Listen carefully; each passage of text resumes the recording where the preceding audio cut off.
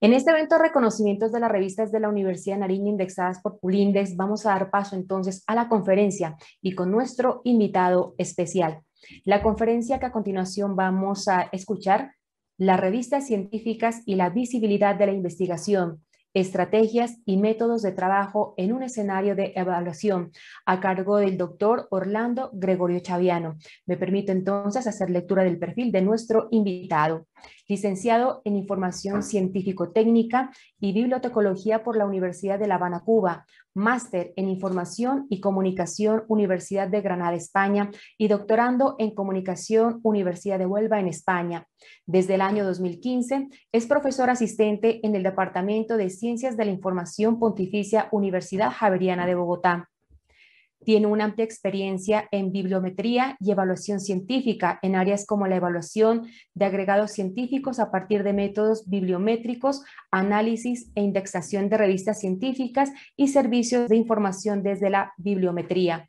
Desde el año 2018 coordina el Semillero de Investigación de Bibliometría y Evaluación de las Ciencias de la Pontificia Universidad Javeriana y el Diplomado de Bibliometría de la Universidad Jorge Tadeo Lozano en las ediciones 2019-2020, presencial y de forma virtual, y en la Pontificia Universidad Javeriana en el año 2020. Doctor Orlando Gregorio Chaviano, muy buenos días. Gracias, es un gusto tenerlo en nuestra Universidad de Nariño, en esta condición en la distancia, pero gracias por acompañarnos en este evento tan significativo para la universidad, en gran reconocimiento a las revistas de nuestra alma mater. Doctor Orlando, muy buenos días y lo escuchamos. Muy buenos días, ¿se me escucha bien? Sí, señor, lo escuchamos muy bien. Bueno, no, primero nuevamente agradecer la invitación. Para mí es un inmenso orgullo. Eh, es una lástima que que esta pandemia no me haya dejado de estar allá, que es una zona de Colombia que, que no conozco, eh, y eso es un pendiente que tengo eh, después de 16 años que vivo en Colombia. Entonces tengo ese pendiente que ojalá en algún momento se pueda dar. Creo que es de las zonas que no, que no conozco y, y quiero conocer. Y nada, agradecer eh, a las directivas de la universidad, al doctor Gilbert, por la confianza depositada para, para compartir un poco de temas bibliométricos y, de evaluación de revistas hoy día con ustedes. Felicitar a los grupos editoriales, a, todas las revistas de la universidad y por supuesto a esas que han quedado clasificadas en, la última, en el último modelo de clasificación de Publinder, un tema que es bastante difícil, un trabajo bastante arduo. Ustedes lo, lo saben, yo creo que más que yo. Y para mí es difícil incluso eh, es un tema eh, que me genera bastante miedo eh, hablar de revistas científicas en un entorno donde tienen tanta experiencia y han llevado un grupo de revistas a buen término en estos escenarios hoy día de evaluación que es bastante difícil, permeados por todo este tema de las bases de datos, las citas, los indicadores bibliométricos, Web of Science, Scopus, y todo esto que a veces frena un poco el trabajo de las revistas. Así que para mí yo creo que es un honor escucharlos, un honor saber que ustedes tienen tanto conocimiento y tienen tanta experiencia para mm, hablar de revistas, para trabajar revistas, que más que todo trabajar las revistas, yo creo que es una empresa bien difícil hoy día. Así que mi agradecimiento doble por la invitación y trataré un poco de de transmitir algo mm, de lo que he trabajado en estos años, con la observación de que yo casi siempre estoy del lado de allá de la revista, yo casi siempre las evalúo, las critico, eh, a veces soy culpable de que se cierren, yo soy un poco la cara fea de esa parte de las revistas por mi experiencia un poco de trabajo desde la bibliometría. Entonces voy a compartir pantalla, permítanme.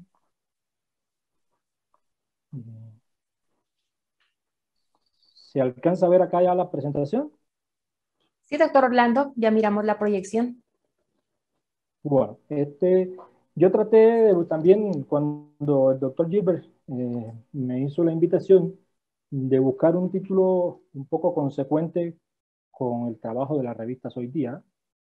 Eh, las revistas eh, como escenario, dentro del escenario de la investigación, eh, las revistas y los grupos editoriales que están necesitando estrategia, generación de nuevos métodos de trabajo, adaptarse al trabajo actual en un escenario que constantemente eh, está marcando escenarios de evaluación, temas de evaluación, y es lo que yo creo que está marcando la ruta del camino de la revista. En función de eso, entonces,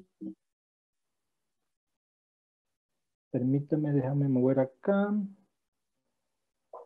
Voy a, a, tratar algunos temas muy básicos. La presentación tampoco es tan extensa. Eh, hay elementos aquí que no los he incluido. Fui escuchando incluso algunos eh, cuando los vicerrectores hablaban, que me parecieron interesantes. Eh, el concepto de calidad, que es algo recurrente. los vicerrectores lo mencionaron.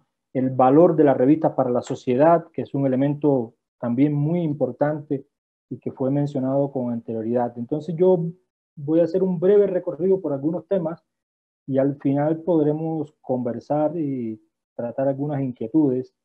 Eh, voy a hablar un poco del valor de las revistas para la investigación científica en estos ecosistemas de investigación. ¿Qué valor y qué liderazgo y qué perspectiva incluso tienen las revistas eh, dentro de estos ecosistemas de investigación? La búsqueda de la calidad eh, que eso tiene diferentes enfoques. De hecho, el concepto de calidad es un concepto bastante ambiguo dentro de la investigación científica, muchas veces medido desde las citas, y la cita como criterio de calidad, como indicio de calidad de la investigación, es un concepto bastante eh, debatible eh, y que genera bastante controversias en la actualidad. Mostraré de forma muy sencilla algunos indicadores y métodos bibliométricos que me parece que son interesantes para gestionar las revistas. Mm, por mi formación eh, bibliométrica, eh, dicto bibliometría en pregrado, en posgrado, eh, dicto bibliometría para grupos editoriales, para investigadores. los indicadores y los métodos tienen un liderazgo también importante y un uso muy importante para la gestión de la actividad científica y para la gestión de las revistas propiamente dicha.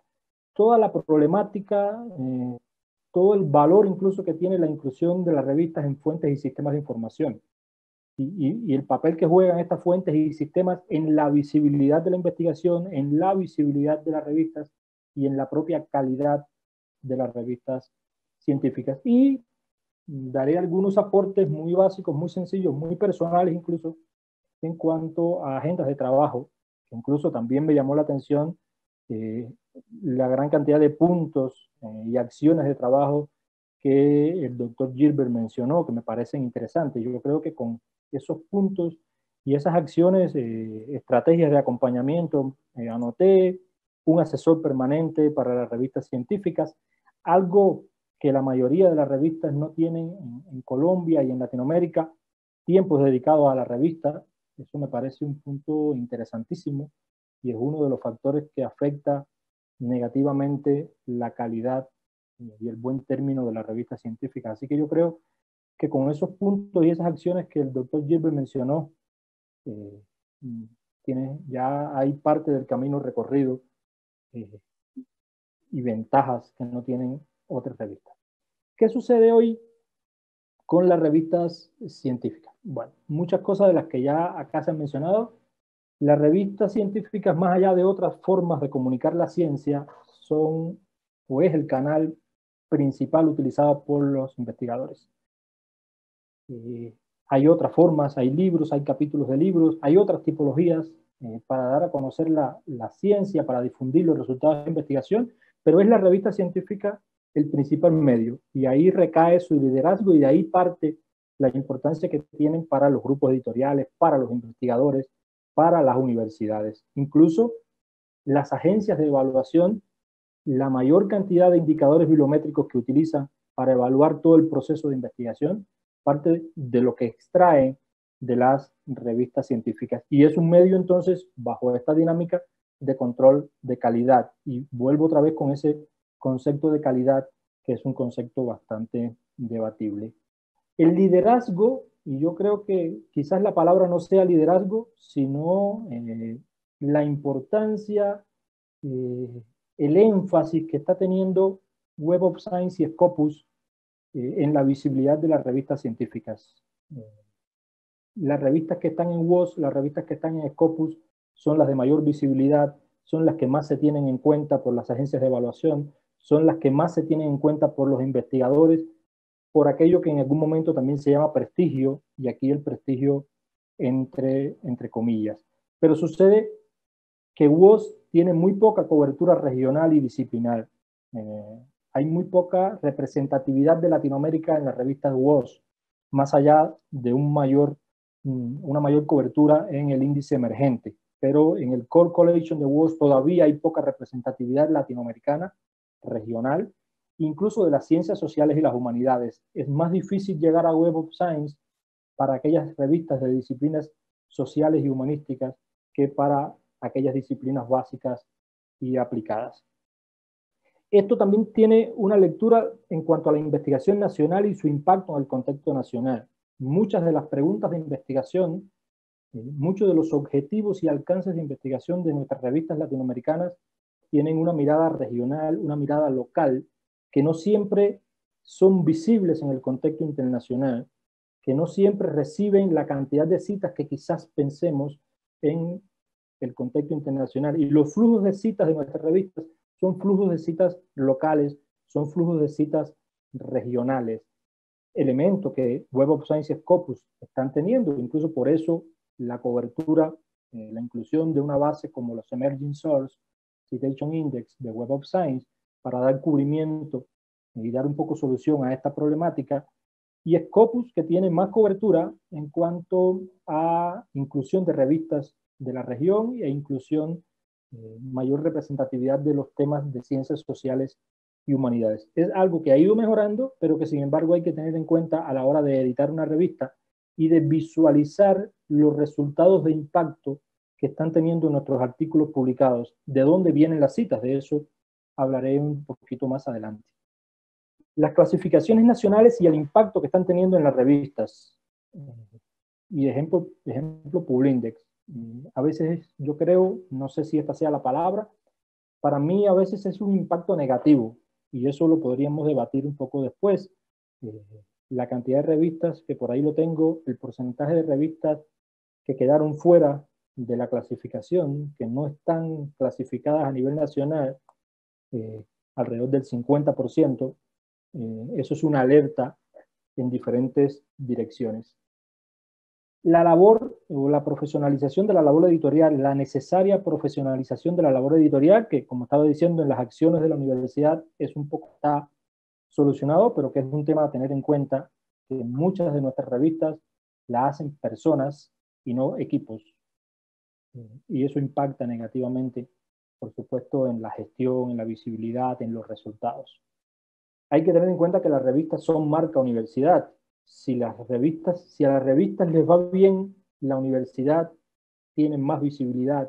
Incluso son criterios también en cuanto a la evaluación universitaria, eh, el tema de ranking y todas estas cosas. La mirada que se le da a las revistas en el contexto de la universidad actual. La posición, la calidad, la visibilidad, la presencia de revistas en fuentes, dígase muchas veces WOS y Scopus, es un criterio que impacta positivamente y a veces negativamente en la marca universidad. El valor de otras bases de datos, y eso es una gran pregunta, eh, también Cielo, Redalic, DOAT y otras bases de datos, ¿qué influencia están teniendo en las revistas? a veces vemos que dentro de Publindex no tienen mucha representatividad, pero sí la tienen porque le dan visibilidad a las revistas, los contenidos son más conocidos, eh, tienen un impacto negativo y por eso es importante para nuestras revistas también eh, darle una mirada a estas bases de datos que controlan la calidad y dan visibilidad. La cita. Eh, la cita es la moneda de cambio de la bibliometría. yo creo que es el Bitcoin hoy de la bibliometría, la cita, porque nos guste o no, y hay mucho debate también sobre el valor de la cita como criterio de calidad. Eso es debatible yo como profesor de bibliometría lo sé, que es muy debatible la cita, pero fíjense que los indicadores bibliométricos se obtienen desde eh, las citas, se construyen a partir de citas y los resultados de las clasificaciones tienen dentro eh, la cita como herramienta de evaluación desde los indicadores. Entonces hay que también ver la cita dentro de todo este ecosistema de investigación, sin olvidar también las nuevas métricas, esas métricas a nivel de artículos, esas métricas que me están dando las Almetrics y estas herramientas tecnológicas incluso que me permiten capturar eh, Almetrics, eh, impacto en la red social, que me permiten dar una mirada a los artículos y no a la revista como un todo. Y yo creo que también ahí hay que hacer un trabajo importante en función de la visibilidad de la revista. Y después de todo esto está, y lo dejo incluso en rojo, todo el proceso de creación y gestión que lleva una revista, que ustedes lo saben y lo hacen muy bien. Yo creo que vuelvo otra vez y no me cansaré de felicitar.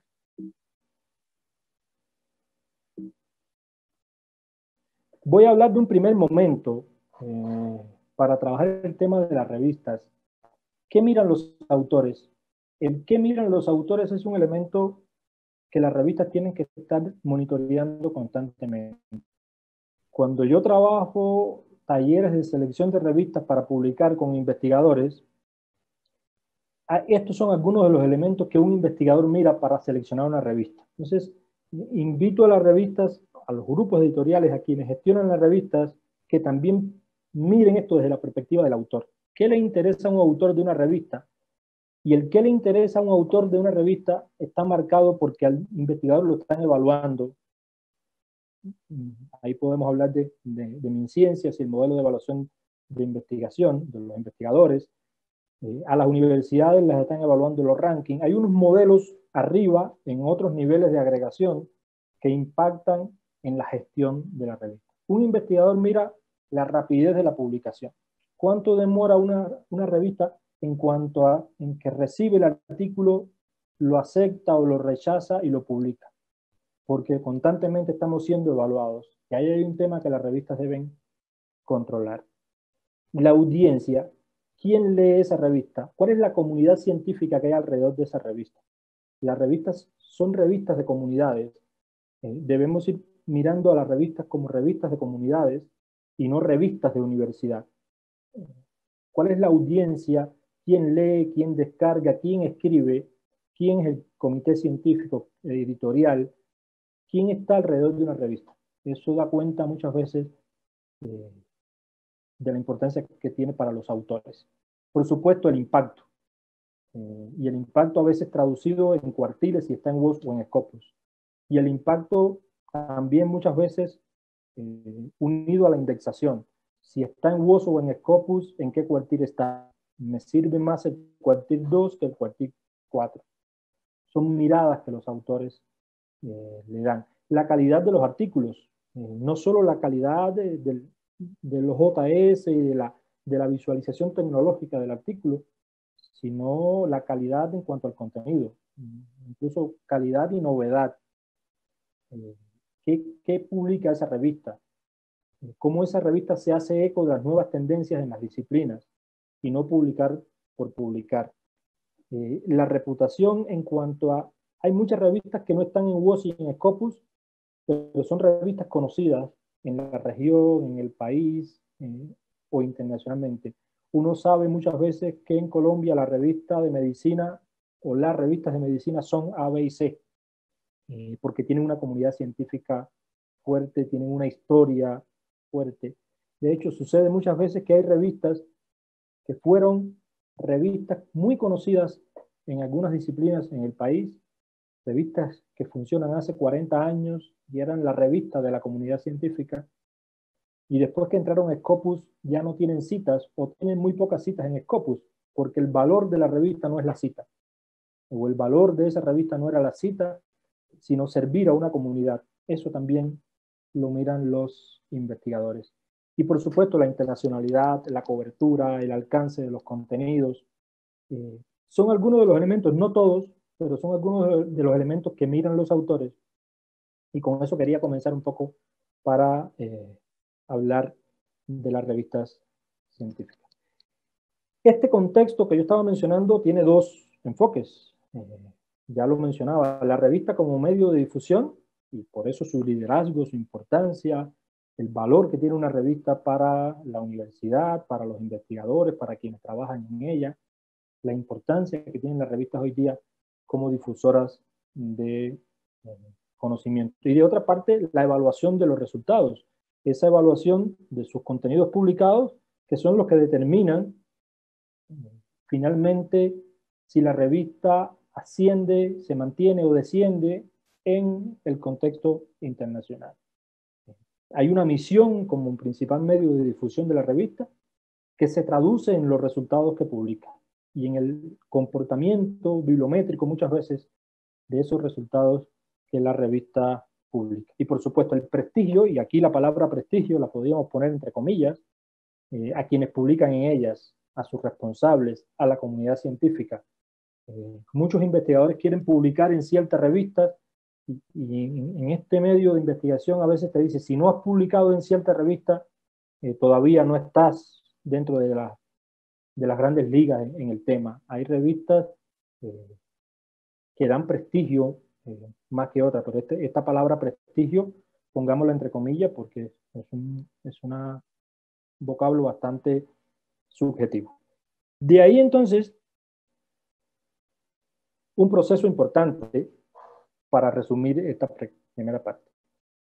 Esa, esa misión de la revista como medio principal de difusión de los resultados de investigación eh, se traduce también en que son registros de las comunidades científicas, son registros de las disciplinas, son registros incluso históricos de las áreas del conocimiento a, que, a las que representan. Y por eso, en esa misión de registro histórico muchas veces eh, uno puede analizar una revista en el tiempo y mirar lo que ha publicado, mirar las citas que ha recibido, y eso da cuenta un poco de ciertos comportamientos, ciertas tendencias que ha tenido la disciplina. Eh, eso también es un valor importante para la revista. Aquí hay que controlar desde el propio proceso de selección de artículos, los revisores, la calidad de los revisores. Eso también es un, elemento importante, o es uno de los elementos importantes como control de la calidad de las revistas. ¿Quiénes son los revisores? Porque dan la primera calidad a lo que se publica. Y a veces las revistas reciben 40 artículos para un número para publicar 10. Y esa rigurosidad en los revisores da calidad a la revista y al final en esta misión de registro va a tener más calidad en el futuro. Por supuesto, la novedad de lo que publica, las referencias bibliográficas utilizadas, ahí hay que tener un control de calidad eh, que después se traduce acá o se puede traducir acá en citas. Y eso hay que evaluarlo, hay que mirarlo a futuro. Y aquí incluso pongo citas versus la sociedad. Muchas veces las revistas no tienen muchas citas, pero tienen grandes aportes a la sociedad. Y eso es un elemento que a veces nos va faltando en la bibliometría. Los indicadores bibliométricos que utilizan las agencias de evaluación, los indicadores bibliométricos que utilizan las bases de datos, se quedan en la cita y en, y en esta bibliometría básica. Y muchas veces no miramos el aporte a la sociedad. Nos faltan muchas veces incorporar indicadores de impacto social eh, y ver la revista también con un impacto social y una contribución a la sociedad, que eso se habló creo que los vicerrectores lo hablaron. Y ahí hay que mirar también las citas, pero ¿quién te cita? ¿Cómo se comportan las citas en el tiempo?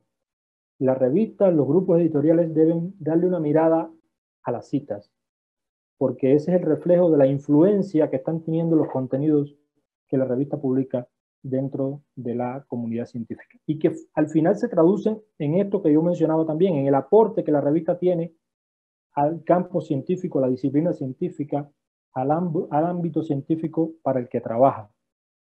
Y eso es muy importante. Todo este proceso de calidad de los artículos que se convierten en registros, la evaluación de las citas, ver un poco la influencia que tuvieron los contenidos, la mucha, regular o poca influencia de contenidos que nos permiten gestionar. El análisis de citas me permite gestionar muchas veces los próximos números. Y eso tiene una repercusión, por supuesto, importante en el valor final de la revista para las comunidades. Y por supuesto, detrás de todo esto está la gestión editorial, que no la voy a mencionar porque yo creo que eso en el 90% de las revistas nuestras en Colombia funciona, en unos más que otros, hay un gran esfuerzo editorial, muchas veces incluso sin recursos. Eh, yo creo que donde habría que hacer bastante trabajo todavía es en la evaluación de este tipo acá, el control de la calidad, la evaluación de las citas y la presencia, la presencia en bases de datos y en sistemas de información. Esto eh, ya lo saben. Mm, la clasificación de Publindex, los criterios de evaluación de Publindex, que yo creo viene de la diapositiva anterior cuando hablaba de la gestión editorial. Yo creo que aquí las cosas en general marchan bien. Las revistas por acá, en estas dos primeras fases, marchan bien. Eh, la mayoría de nuestras revistas se quedan por acá. Y no pasan y no son clasificadas mediante o cuando se les aplica bibliometría. Sobre todo porque muchas no están ni en el SJR de, de ni en los Journal Citation Report de Scopus. De 12.000 revistas que tiene Web of 12.000 y tantas que tiene Web of países más representados en la región. Disculpenme, ¿se me escucha? ¿Se me escucha bien? Sí, sí, sí, se, escuchamos. Ya, disculpe, que me salió, me salió, un mensaje que decía que mi conexión estaba inestable. Entonces... No, sí lo escuchamos, doctor. Bien, gracias, qué pena. Y hay más representatividad en el SJR de Simago, hay 114 revistas colombianas incluidas. Eh, el tema de los cuartiles funciona mejor en el Simago por la propia metodología del, eh, del indicador, que yo creo que es una métrica poco muy difícil de, de, replicar, muy difícil de entender el indicador. Es un, es un indicador de calidad. Fíjense que el propio indicador es un indicador de calidad y de prestigio. Las revistas le transfieren prestigio a otra y si las citas vienen mayormente de revistas Q1, la revista puede mejorar, pero si las citas vienen mayormente de revistas Q4, la revista no mejora. Ahí hay un elemento estratégico en la gestión de las revistas. Por la propia, eh, la dificultad de entender, incluso la dificultad metodológica del indicador, es que muchas revistas colombianas están mejor posicionadas que en WOS porque la propia métrica del factor de impacto es un índice de citas, citas sobre documentos publicados. Es una matemática más sencilla y más difícil de ascender porque necesitas de citas. Y el SJR no es cantidad de citas, sino calidad de las citas. Entre comillas, es más fácil eh, mejorar en cuartiles en el, en el CIMAGO que en los JCR de Web of Science.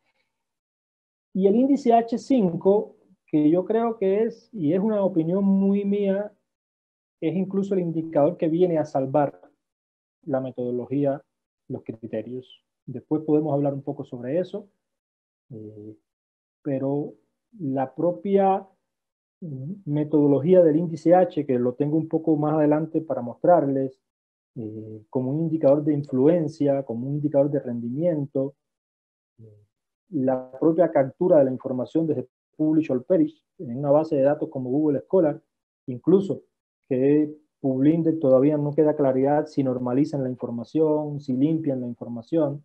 Eh, yo creo que sabiendo gestionar el índice H es que muchas revistas nuestras han podido eh, mejorar en la clasificación de Publindex.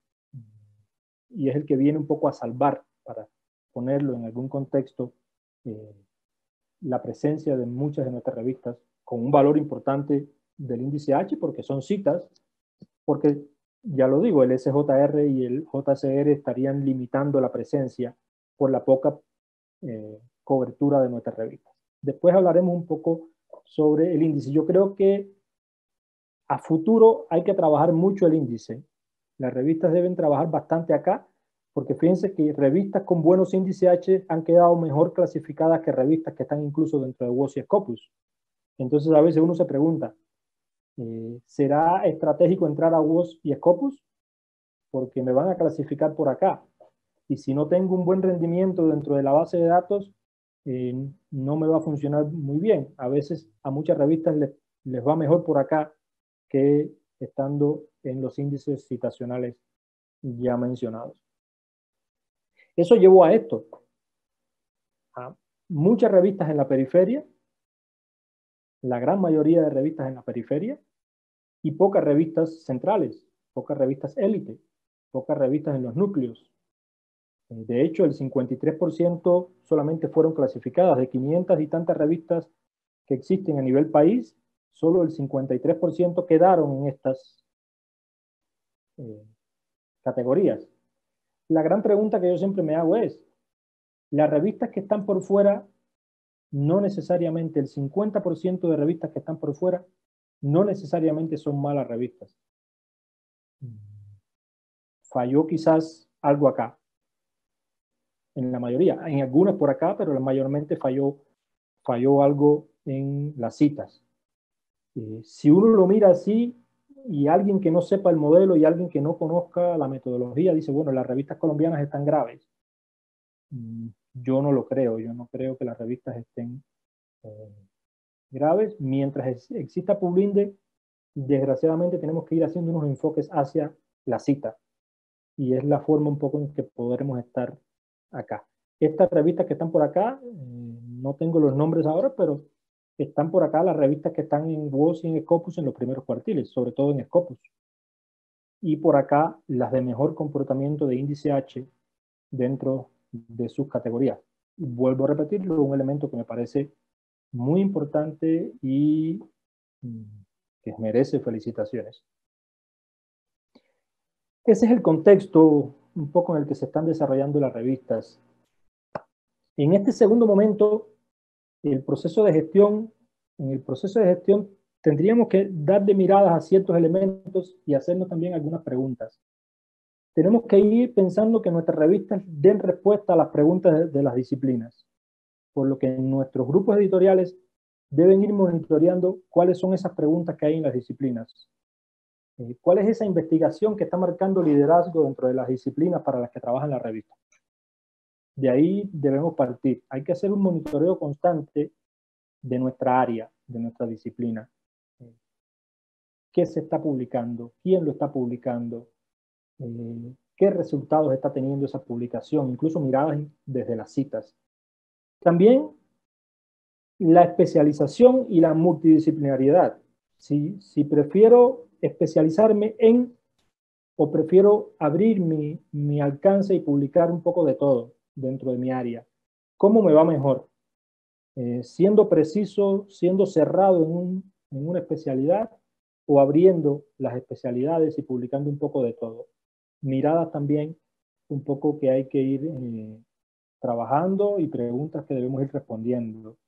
Eh, bueno, otros elementos como la revisión por pares, quiénes son nuestros revisores, eso también lo saben. La visión bibliométrica del proceso, qué publicar, y esto hay algunas palabras que quizás no sean las adecuadas, pero ¿qué me conviene publicar? ¿Por qué publico sobre esto y no sobre aquello?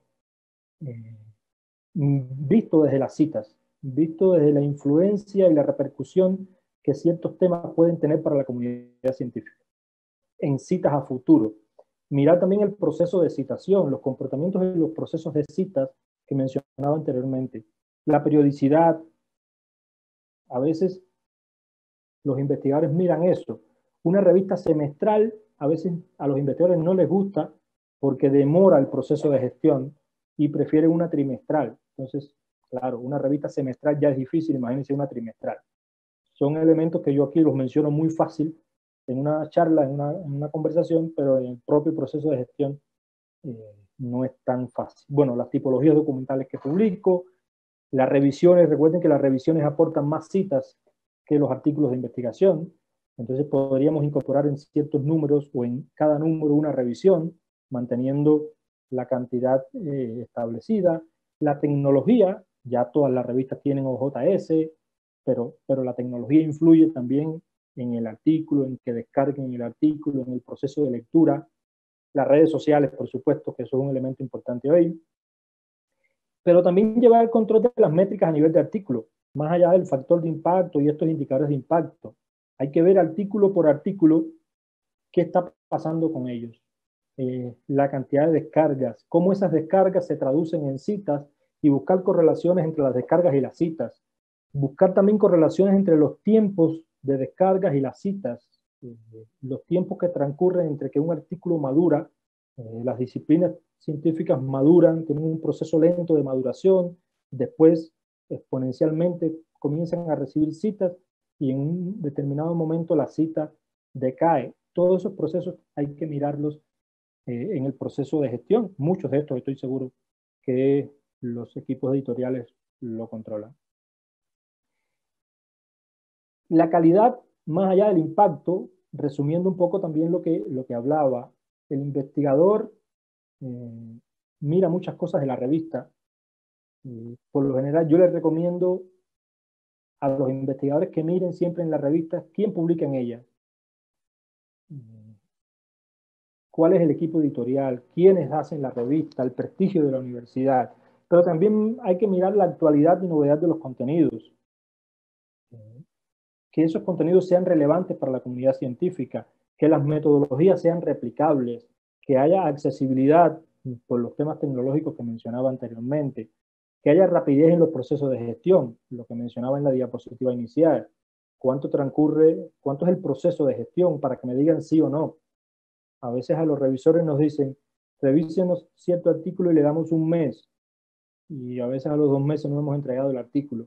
Eso es un tema muy difícil, yo sé, para los grupos editoriales, pero de la rapidez del proceso de, revisión eh, depende mucho de los demás procesos. Y lo que mencionaba, las comunidades alrededor de una revista. Otros elementos, por ejemplo, el comité científico, eh, los autores que publican en ella, eh, podemos aplicar la ley del OTCA para ver las comunidades que hay alrededor de las revistas. Muchas veces cuando aplicamos una metodología del OTCA, en una metodología inversa, según el modelo de la ley del OTCA, podemos ver que hay núcleos de autores que publican bastante y crean comunidad. Esto es importante. Si hay endogamia, que haya dispersión en quienes publican ellas, que no haya repetición de muchas, del mismo autor muchas veces en la revista. Esto tiene unos tiempos, esto tiene unas cantidades. La periodicidad, la regularidad, la salida a tiempo, los tiempos de respuesta. La institución editora, esto también ustedes lo saben, que la institución editora tenga poco reflejo en los contenidos publicados para evitar la endogamia. La cantidad de bases de datos y presencia en fuentes y sistemas que tiene la revista. Es importante esto porque las fuentes de datos, los sistemas de información son los que controlan la calidad mientras en más fuentes que tengan criterios de evaluación esté nuestra revista, se supone que por más evaluaciones pasó y más rigurosidad tiene. Y bueno, después el tema de los indicadores bibliométricos, las citas recibidas, los cuartiles, la calidad de las citas. Algunos criterios, yo siempre soy muy defensor de Latindex y de los criterios Latindex. Yo creo que una revista cuando cumple la mayoría de los criterios Latindex, que son alrededor de 38 criterios Latindex, eh, tiene una gran parte ya ganada. Y fíjense, marco algunos, la periodicidad, porque eso Web of Science Scopus lo pide. La originalidad, porque eso Web of Science Scopus lo pide. La calidad del arbitraje es algo también que estas bases de citación, estos índices citacionales lo piden. Son elementos que desde la propia gestión y labor editorial y las políticas editoriales y de contenido se pueden ir controlando, se pueden ir mejorando para cuando lleguemos a Scopus eh, ya tengamos un camino recorrido. Ahorita yo hablaba de ese dilema entre la especialización y la multidisciplinaridad, incluso que está muy reflejado también en la cantidad de artículos o documentos que la revista publica al año, en la periodicidad, por supuesto.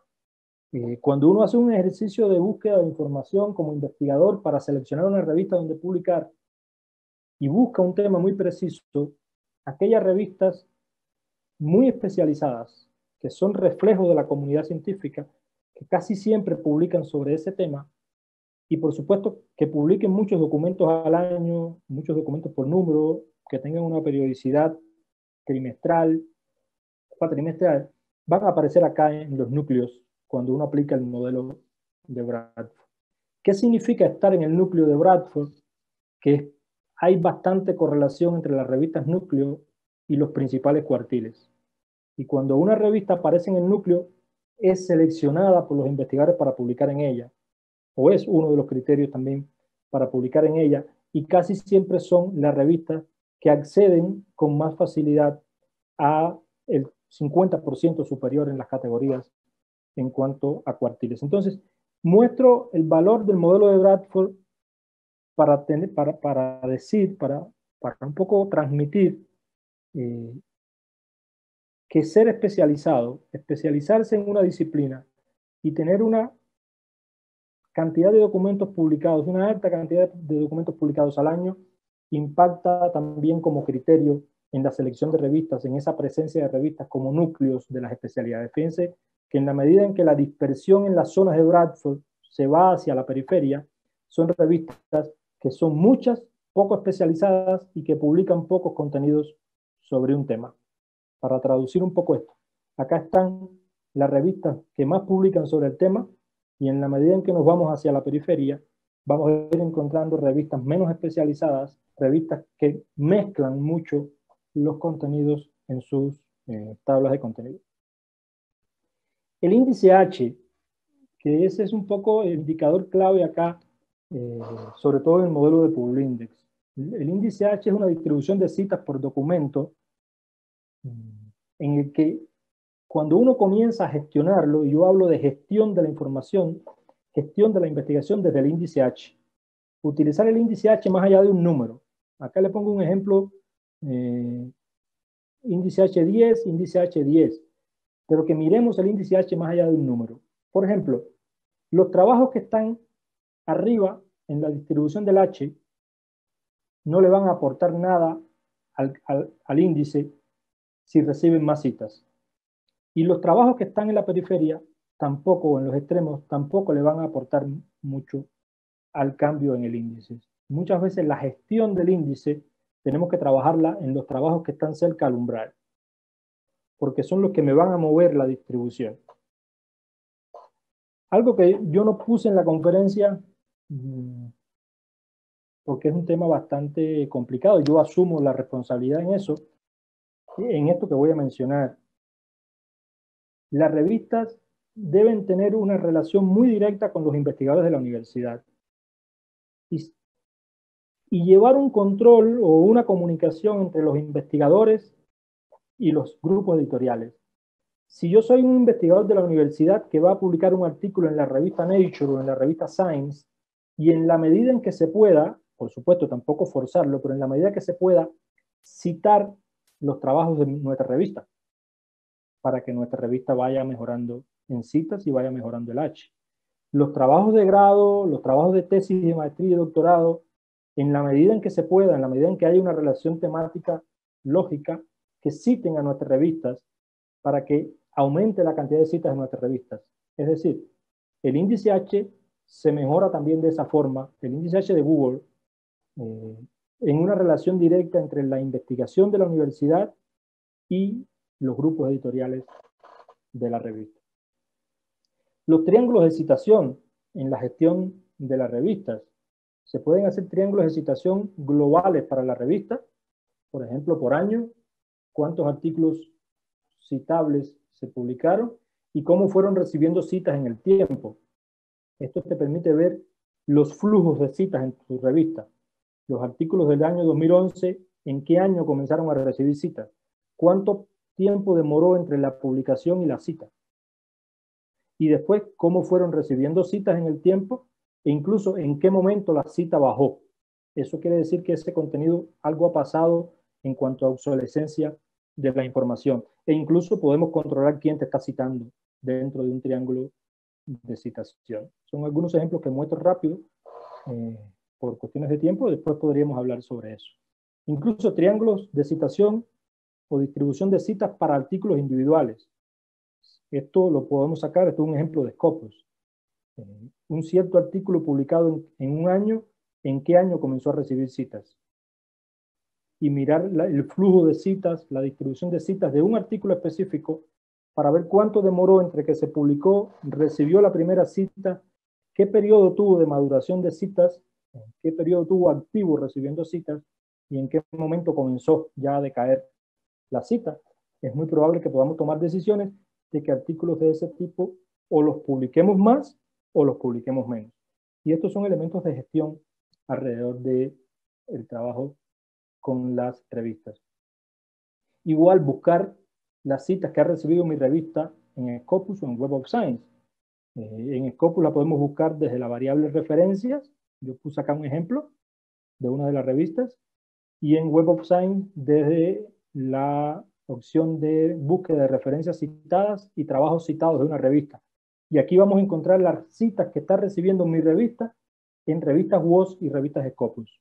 Incluso cuando hacemos un informe, cuando nos presentamos a Scopus, yo sugiero, siempre cuando eh, asesoro revistas, pido que se haga un informe muy breve, que no solamente diligenciemos el formato que me pide Scopus, sino que hagamos un pequeño informe bibliométrico de una hojita con tres, cuatro tablas y gráficos. Y hay que decirle a Scopus que nuestra revista recibe citas de sus propias revistas, incluso de revistas WOS, y hacer un análisis muy sencillo de citas para mostrar, entre comillas, los aportes de mi revista y lo que puede contribuir mi revista si entra a la base de datos, la contribución que le puede dar a la disciplina y la contribución que le puede dar incluso a la base de datos. El factor de impacto, que es un indicador bastante eh, criticado, yo aquí no lo, voy, no lo muestro como factor de impacto, lo muestro más que todo como una fórmula de índice de impacto para hacer gestión de mi revista. Nosotros podemos saber los documentos que ha publicado mi revista y las citas que ha recibido mi revista en cualquier base de datos. De hecho, de las tres revistas de la universidad hay una que está en Emerging Source, creo que es la de agricultura. Podemos buscar citas, capturar citas de muchas fuentes y hacer unos ejercicios de análisis de impacto. Por ejemplo, cuántos documentos publicados y cuántas citas recibidas. Fíjense que el valor del factor de impacto, más allá de sus críticas, es que me, me permite ver las citas que recibieron los trabajos y cuáles fueron los trabajos citados quién los citó. Entonces, ese análisis de la cita, más allá de la propia cita del número, sino mirando quién te citó, en qué momento te citó, es un proceso de gestión también que se pueden ir haciendo en la revista, un poco para incluir nuevos contenidos, para mantener contenidos o para sacar contenidos del, núcleo de la revista porque no funcionan, porque no reciben citas, porque su tiempo de maduración eh, de las citas es muy lento. Bueno, para ir cerrando, en conclusión, dos miradas necesarias a la revista. Una mirada desde la bibliometría y una mirada desde la gestión. Eh, para resumir todo esto que estaba hablando. Esa mirada desde la bibliometría, el control y la evaluación de citas, incluso las métricas a nivel de artículo. Y desde la gestión, todo ese proceso que los grupos editoriales realizan en el día a día, pero que se traduce en la visibilidad y la presencia en bases de datos. Al final de todo el proceso de gestión y todo ese sufrimiento, por decirlo de alguna forma, que hay en la creación y la gestión de una revista, se traduce en esto, en la presencia en bases de datos, en sistemas de indización y en las citas recibidas, en la calidad de las citas que recibe, en la influencia de sus contenidos. Las rutas de indexación. Yo sugiero también que se haga planeación en cuanto a rutas de indexación. Fíjense, esto es un ejemplo muy básico que yo pongo, pero las revistas deben estar acá en fuentes de control. Ulrich, DOA, de Latin, de Dianet. Toda revista debe estar acá. Pero toda revista debe buscar bases eh, ya de control de calidad, las bases primarias de control de calidad, EBSCO, ProQuest y un poco todas las parecidas. Después, bases especializadas. Una revista médica debe buscar por estar en Medline, por estar en PubMed, en Biosis.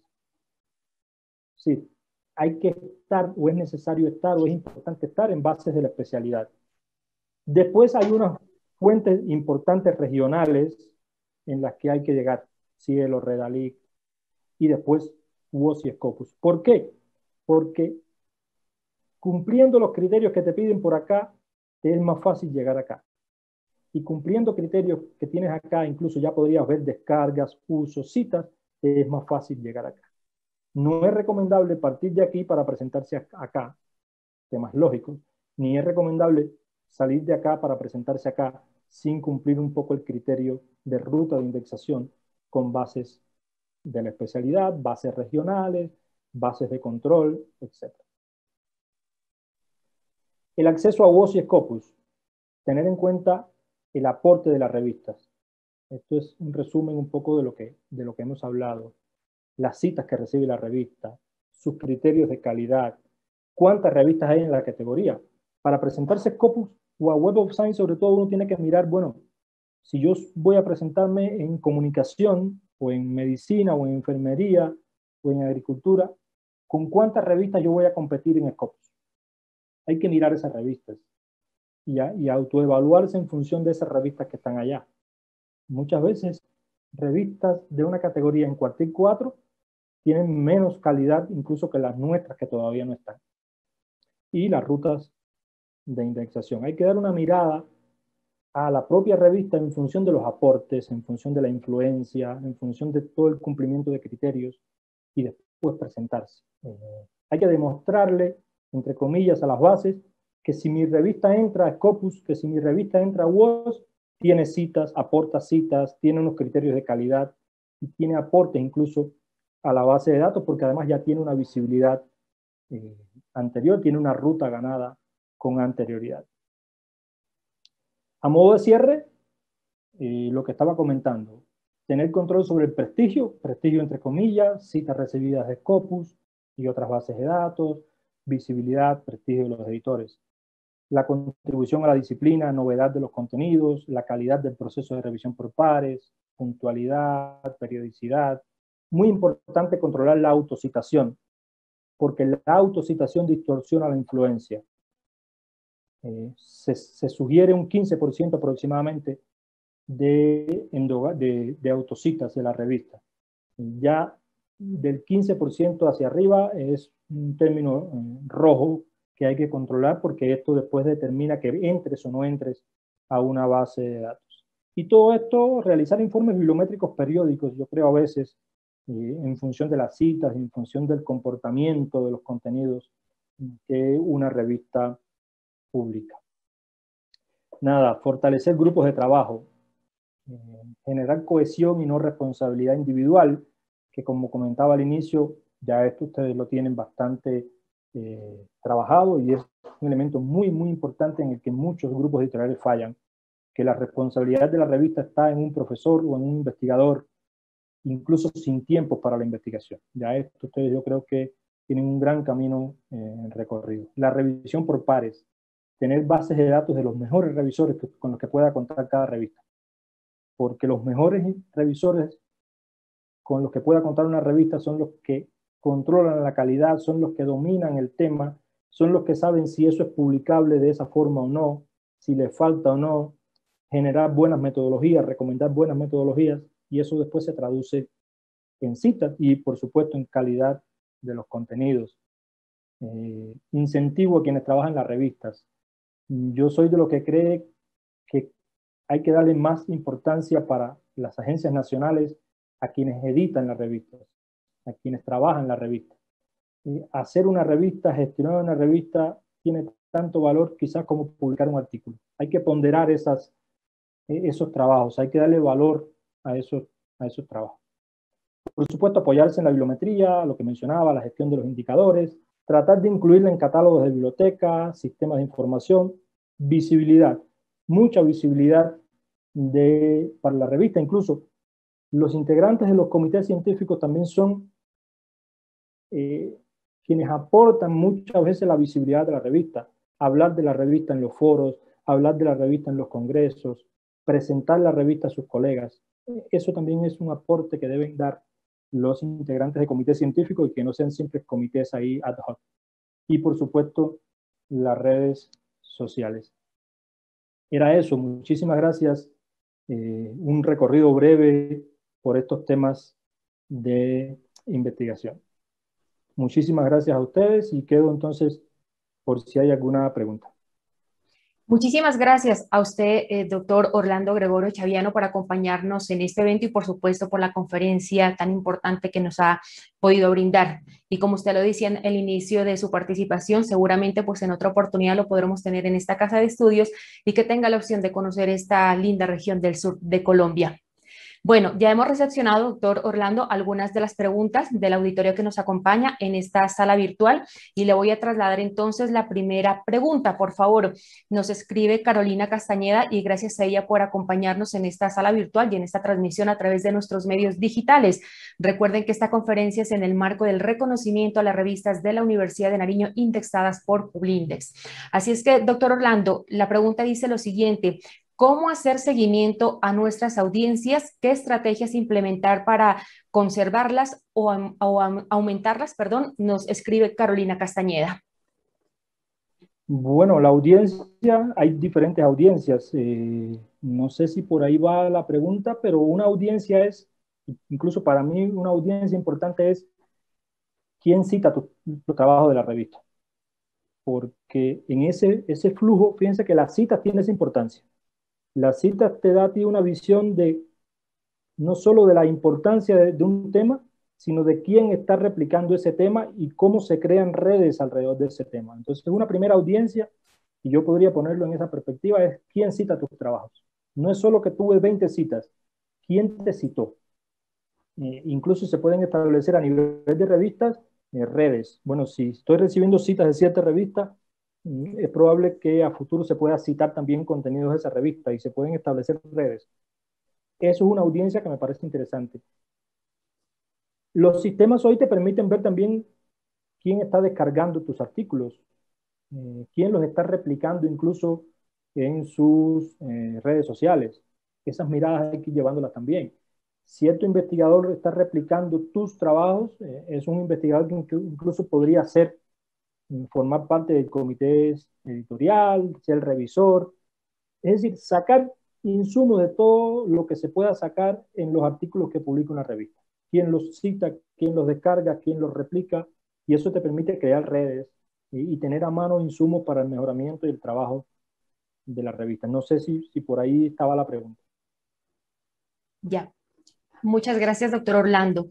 Otra de las inquietudes por parte de nuestros asistentes nos escribe Meli Ruiz. Doctor Orlando dice, ¿en todas las revistas se puede medir el factor de impacto o solo en la revista Siopus?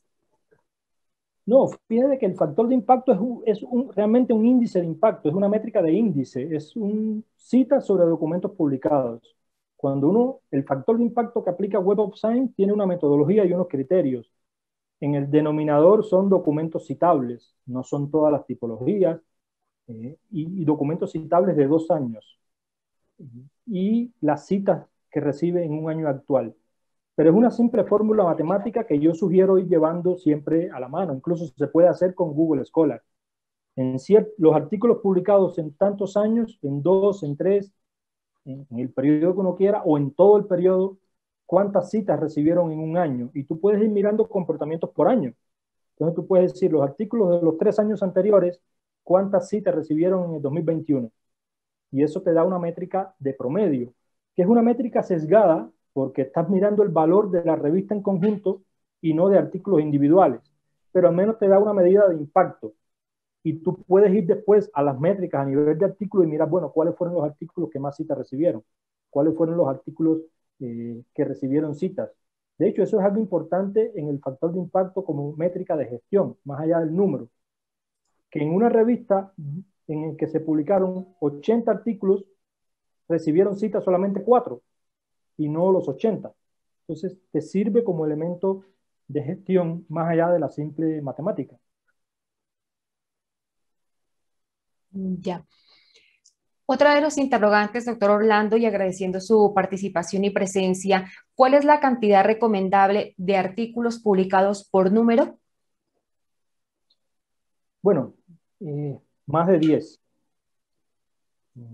Y esto incluso influye también en la propia gestión de la revista. Incluso cuando una revista, las revistas que no están en WOS y en Scopus, incluso sobre todo en WOS, no tienen a veces que que llevar mucho este control de la métrica. si, si, la revista ya está en Web of Science, sí tiene que controlar bien eso.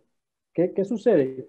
A veces tienes 10 artículos por número, 20 al año, y esos 20 artículos al año tienen un buen comportamiento de citas. Cuando las revistas a veces ven que les va mejor en el comportamiento de citas, dicen, bueno, ahora vamos a publicar 15, vamos entonces a tener 30 al año. Pero tú tienes que tener en cuenta que el aumento en la cantidad de documentos se traduzca en cantidad de citas, porque si no la métrica, simple matemática, decrece. Entonces yo creo que un mínimo de 10 por número, eh, por ahí 8, 10 es un buen número, pero uno lo puede ir controlando, mirando qué pasa. Si con 8, 10, que sean los mejores, tienes un buen comportamiento de citas, porque al final, nos guste o no, todo lo vamos a traducir en citas y, no, y vamos a estar un poco detrás visualizando las citas. Yo un número recomendable es 8 o 10. Claro, estamos compitiendo una revista semestral 20, 25 artículos al año con una revista mensual muy citada, muy visible, 200 artículos al año. Incluso ya muchas revistas eh, tienen los números abiertos y todo lo que tenga calidad, ejemplo, Plus One, va incorporándose. Eh, pero uno va monitoreando. Esto es un tema de monitoreo. Incluso es un tema también que se relaciona mucho con el idioma inglés. Eh, la persona, el responsable de la revista de, agricultura mencionaba el tema del inglés y decía, vamos a ver si nos va bien y, tenemos que regresar al español, porque a veces el inglés es el idioma internacional, pero habrá que ver los contenidos que publicamos si son de interés a nivel mundial o son de interés a nivel regional. Eh, hay que tener en cuenta, son muchos elementos de toma de decisiones en prueba y error, pero yo creo que un número recomendable es 8 o 10 artículos por número. Ya, muchas gracias. Otra inquietud, doctor Orlando, me dicen, muy buenos días, ¿nos podría compartir algunas recomendaciones para la postulación Scopus? Bueno, mm, para la postulación Scopus, un poco como lo que mencioné, la primera parte casi siempre está garantizada. Mm, esto del cumplimiento de la periodicidad, el comité científico, de los JS, un poco esa parte casi siempre está garantizada. Yo recomiendo cuando trabajo con grupos editoriales, con revistas, hacer un informe bibliométrico a Scopus, que eso se puede insertar en el, cuando uno se postula. No hay que exagerar y hacer un informe de 40 páginas porque no se lo van a leer, pero un informe preciso de una página, página y media, con gráficos, donde uno le diga a Scopus, mira, mi revista viene recibiendo citas de esta forma en los últimos cinco años. Incluso está recibiendo citas de artículos publicados en revistas Scopus. Y está teniendo tantas descargas por mes. Mira, este sería mi índice de impacto, mi promedio de citas por documento. Está mejor que el 30% de las revistas que tú tienes en cierta especialidad en el cuartil 4. Y mostrarle un poco con algunos indicadores a Scopus por qué esa revista debe entrar a la base de datos. Como como una hoja de vida, como un currículum, ¿por qué usted me debe contratar a mí? Ya, muchas gracias. Por otra parte, doctor Orlando, los asistentes en la sala nos están solicitando si nos puede compartir también la presentación y están adjuntando los diferentes correos, por favor, para ver si podemos compartir la presentación a las personas que nos han estado acompañando. Otro interrogante, doctor Orlando, nos dice, desde el escritor o autor todo tema es importante puede ser un tema de actualidad y de interés para la comunidad científica y otros, pero ¿cómo determinar y medir si el artículo generará impacto? Bueno, el saber si va a tener impacto mm, es un poco difícil. Fíjate que, el propio proceso de selección que uno hace a veces de una revista, cuando uno dice voy a publicar en una revista Web of Science de cuartil 2 que tiene un factor de impacto de 3.5, es un impacto esperado. El factor de impacto es un impacto esperado. Entonces tú puedes ver una revista que tiene muchas citas y tú dices, tiene un promedio de cinco citas por documento. Es posible que mi artículo tenga cinco citas por documento, pero no es así. El impacto real después es la cita, que, la cantidad de citas que tiene tu artículo.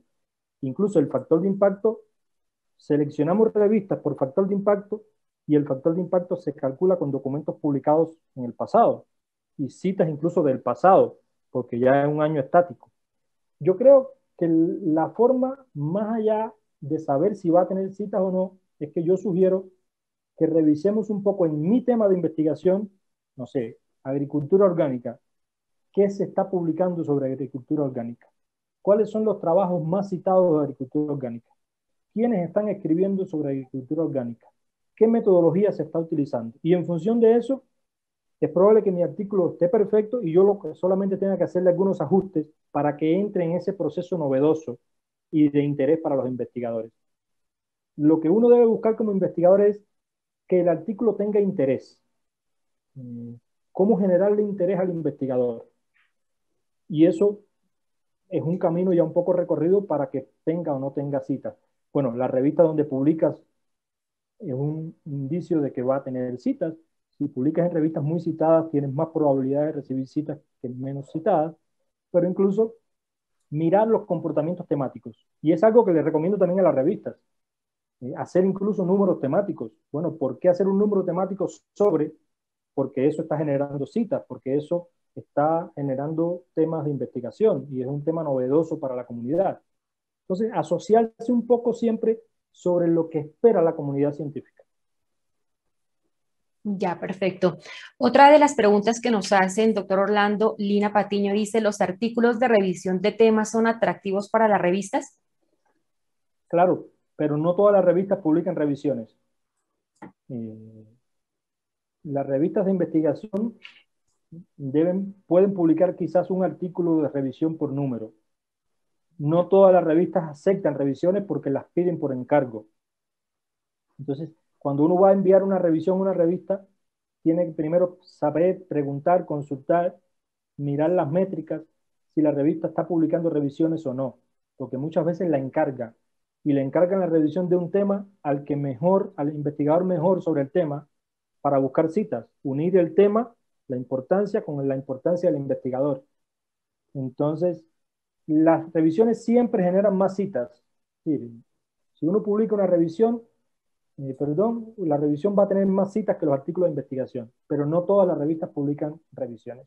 Es una estrategia de las revistas publicar revisiones a veces para aumentar un poco las citas en un periodo de tiempo. Ya, muchas gracias. La siguiente pregunta por parte de los asistentes, doctor, dice, la mayoría de revistas latinoamericanas no tienen posibilidad de financiar el acceso a plataformas de pago para ver las citas. ¿Qué opciones alternativas hay para visualizar las citas de documentos y ver la evolución de la revista? Google Académico. Siempre, ¿eh? es decir, la respuesta no tiene mucho análisis. Google Scholar con un proceso de observación, de limpieza, eh, a veces hay documentos repetidos, citas repetidas, pero ese monitoreo de que Google Académico, porque no todo el mundo tiene Scopus y no todo el mundo tiene eh, Web of Science, mucho menos. Eh, pero Google Scholar sí tiene mucho. Yo voy a hacer un comercial que no está muy relacionado con con el trabajo que estábamos mostrando acá, con, incluso con los temas de las revistas, pero hay un nuevo proyecto que incluso yo lo estoy trabajando lo estoy liderando para Colombia, en que vamos a comenzar a, incluir bibliotecas, las métricas de Dialnet. Entonces, todas las revistas que estén en Dialnet a futuro van a poder tener métricas similares a las que ofrece el factor de impacto. Fíjense, índice de impacto, eh, podemos ver categorización de revistas, este esta triángulo de citación que yo mostré lo saqué de acá. Entonces, dado que es muy difícil entrar a Scopus, a Web of Science, tener esas citas a veces, porque no todas las universidades tienen esto, este proyecto de Yarnet Métricas, al que le hago un poco el comercial, a futuro viene a cubrir esa parte de la información, sobre todo en ciencias sociales, que no está cubierta por los índices internacionales. Pero la pregunta, sin pensarlo mucho, Google Scholar. Estamos en este momento resolviendo las inquietudes de todas las personas y les agradecemos su participación, aprovechando también la asistencia del doctor Orlando Gregorio Chaviano como conferencista invitado en este evento académico. Doctor, otra inquietud, ¿cuántos artículos de investigadores de la misma universidad se deben publicar que no afecte la postulación en Scopus? Yo soy un poco, poco complicado. Yo diría así también sin pensarlo ninguno. Pero no hay tampoco que exagerar. Yo creo que se puede incorporar un artículo por número, porque eso hay que llevarlo en, en un control. Fíjate que en un periodo de tiempo, que ahora no recuerdo cuál es, te dicen que la endogamia es del 15%, yo creo que es al año, no estoy seguro. Entonces tú lo que debes ir jugando con, con que el porcentaje de endogamia no te suba. Es probable que en tres años no hayas tenido ningún artículo de la propia universidad y puedas incluir uno, porque además tampoco es desechar por desechar, porque en la universidad se hace buena investigación, pero es llevando un poco el monitoreo de, bueno, cuántos artículos ya tengo de la propia universidad. Tengo muchos, bueno, no es recomendable ahora incluir otros. Es un ejercicio de gestión que hay que ir observando. Eh, pero se pueden incorporar, siempre que no se suba mucho el porcentaje de la endogamia. Yo diría que a veces uno al año, no, no, uno o dos al año, no impacta negativamente. Mm, ya. Ahí está la respuesta para nuestra asistente con relación a su pregunta. El siguiente interrogante dice, nuestra revista publica aproximadamente 30 artículos al año, pero tenemos problemas con la citación. ¿Qué estrategias puedo seguir para aumentar la citación, doctor? Yo, son estrategias un poco ambiguas quizás. Lo primero que recomiendo es un poco la planeación de los temas a publicar sobre, mi, sobre el tema de mi revista, qué es lo que más está generando mm, interés. Entonces, no publicar por publicar, no publicar por llenar el número y porque ese artículo me pareció interesante, sino ver qué es lo mejor dentro de lo mejor eh, y publicar temas de importancia. Y después hay que hacer un proceso de marketing importante, que los propios investigadores eh, le den a conocer su artículo. Incluso muchas revistas están, eh, eso quizás ustedes lo sepan y lo estén trabajando, muchas revistas le piden al autor que haga un video de un minuto o máximo eh, diciendo por qué ese artículo es importante. Generando marketing, generando estrategias, pero por mucha estrategia de marketing que generemos, si los contenidos no son atractivos para la comunidad científica, es probable que no te citen. Si publicamos más de lo mismo, eh, yo creo que no, no vamos a tener la cantidad de citas posible. Hay que unir la calidad del contenido con el marketing. Ya. Otro de los interrogantes, doctor de Meli Ruiz, nos dice, ¿cómo se puede retribuir a los revisores pares que contribuyen con las revisiones de forma de honor?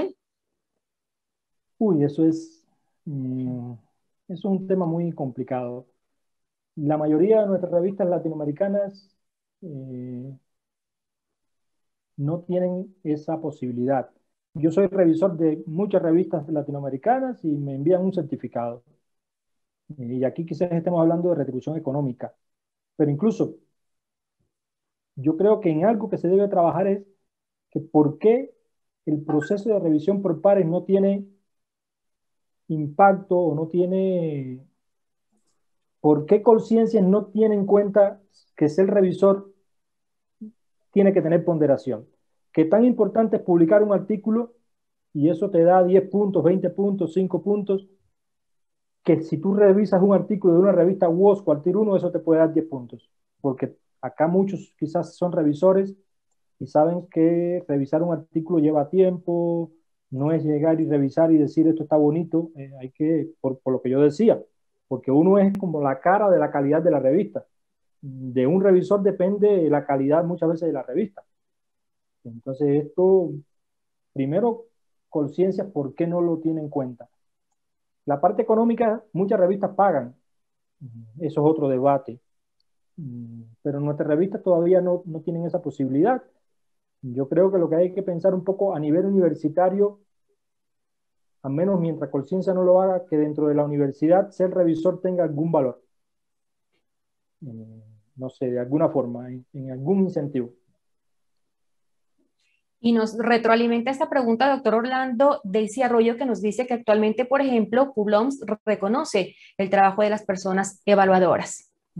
Sí, PubLoms es un sistema que te, que, te, que te valora ese trabajo, pero incluso yo me refería que después eh, eso no te sirve de mucho a nivel conciencias, o no te sirve incluso de mucho a nivel universitario, más allá de tu currículum o tu hoja de vida.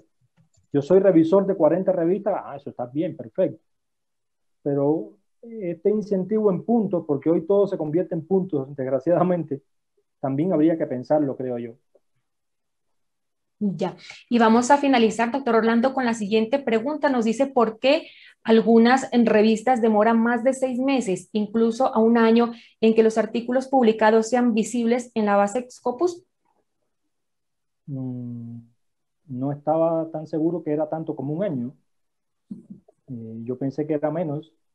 Eh, yo a veces me asustaba cuando era un mes pero ahora me entero que un año, un año no tiene justificación, no sabría, eh, no sabría bien, porque además la base de datos le exige a la revista el cumplimiento de la periodicidad, el cumplimiento de las salidas a tiempo, para que el artículo no se haga, no se vuelva obsoleto y cuando entre a la base de datos, las bases viven de citas, el proceso de citación funcione. No sabría, puede ser algún error, puede ser algo, pero por lo general las bases de datos son bastante cuidadosas en eso al menos en eso son bastante cuidadosas, pero no tenía idea de que tanto como un año. Ya.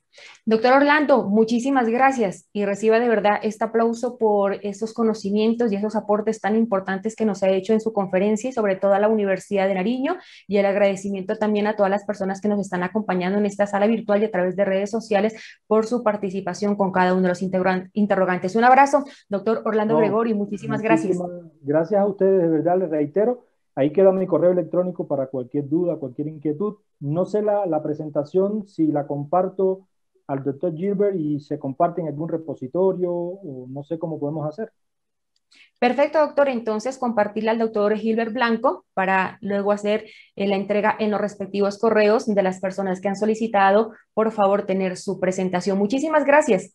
No, nuevamente gracias a la universidad. Nos unimos a nuestro, los agradecimientos de todos nosotros a usted, doctor Orlando Gregorio. Muchísimas gracias y acá a la orden para lo que necesiten. Sí, eh, doctor Orlando, muchísimas gracias por su conferencia, por todas esas estrategias que nos acaba de mencionar. Ya las eh, estudiaremos, cada una de ellas, con eh, los editores de nuestras revistas. Y pues nos ha dejado una buena cantidad de tareas, ¿no? Allí. Discúlpeme un instante que voy a hacer una, una observación quizás un poco chistosa. Estos son recomendaciones científicas. Hay otras muchas observaciones que son estratégicas menos científicas y que funcionan, créanme. Vale, no, eh, eh, ya lo contactaré de nuevo porque nos interesa muchísimo eh, tener toda su asesoría para nuestras revistas. Muchísimas gracias, usted es muy amable. Muchísimas gracias a ustedes. Muchísimas gracias también a Lorena Mesías por acompañarnos en esta transmisión. Muchísimas gracias al maestro Luis Alfonso, el director de la unidad de televisión, y a todo el equipo de comunicaciones por esta transmisión en vivo que hace la Universidad de Nariño. Y de nuevo, felicitaciones a todas nuestras revistas, a los editores de las revistas indexadas y mucho ánimo y mucha energía pues a todas nuestras revistas para eh, lograr una indexación prontamente. Muchas gracias a todos. Por y a usted también, profesor Hilbert, por su, por su empeño en que esto se realice y se conozca eh, nuestros avances en, lo que tenemos de investigación y en la edición de las revistas que se empiezan a, que empiezan a ser conocidas no solo en nuestro departamento en el país, sino que también en Latinoamérica. Eso también merece un agradecimiento especial, nuestro afecto y, y nuestro saludo a, todos y a todas. Muchas gracias. Gracias. Muchas gracias a todos los participantes y por supuesto el reconocimiento al doctor Gilbert Blanco Álvarez por ese gran trabajo que durante muchos años viene realizando como asesor editorial de la Universidad de Nariño. Felicitaciones, doctor Gilbert, y que siga con esta gran labor al interior de nuestra alma mater. Muchas gracias, Lorena. Muy bien, despedimos entonces este evento. Por supuesto, gracias a todos los eh, seguidores, a los asistentes, a toda la comunidad por su presencia. Por supuesto, a la vinculación de la unidad de televisión de la Universidad de Nariño, al director técnico Herto Santa Cruz, a nuestro director maestro Luis Alfonso Caicedo, quien permite que nuestros medios institucionales hagan parte de estos eventos académicos de relevancia para la alma mater y puedan difundirlo a través de nuestros canales de comunicación. Me despido para todos una feliz tarde y muchísimas gracias.